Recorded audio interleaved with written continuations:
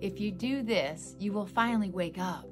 what is this? Step into your courage. That's what it is. Oh, step into courage and admit that you're ready to make the changes that you're ready for. And when you do that, you'll be amazed. That courage is such a gateway, such a powerful gateway that you have. Yes, and it's in your decision to actually say, hey, something has to change. And when you say that, when you decide on that, that is what courage is working and moving through you for. Yes, yes, yes. And with that, it will help you wake up, which means it's going to help you open up your awareness, open up your ability to see new things that you couldn't see before because you have all the possibilities waiting there for you. Infinite, amazing ways of living and being uh, right here for you. And all it takes is courage.